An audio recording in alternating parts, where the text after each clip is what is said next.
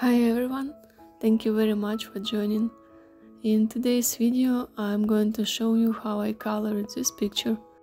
To color this one I had tons of images that I found on internet with different cupcakes, cakes, just any type of sweets. And I tried to find inspiration. Sometimes I use some of them as reference. I really wanted to make these sweets look realistic. I did my best. So guys, I hope you enjoy. Thank you very much.